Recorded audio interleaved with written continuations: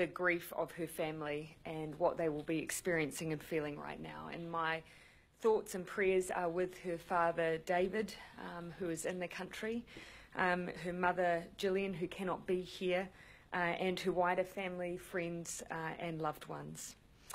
You know, from uh, the Kiwis I have spoken to, there is this overwhelming sense of hurt and shame that this has happened in our country, a place that prides itself on our hospitality, on our manaakitanga, um, especially to those who are visiting our shores. And so, on behalf of New Zealand, I want to apologise to Grace's family.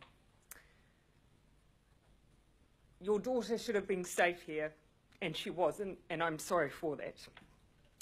I've advised the family through the police that if there is anything we can do to assist, we are here to help with that.